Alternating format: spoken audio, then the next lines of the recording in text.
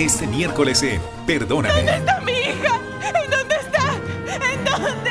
Tranquila, ¿En. Es mi papá un ¡Nasire! ¡Nasire! Oye, por favor, despierta. ¡Despierta!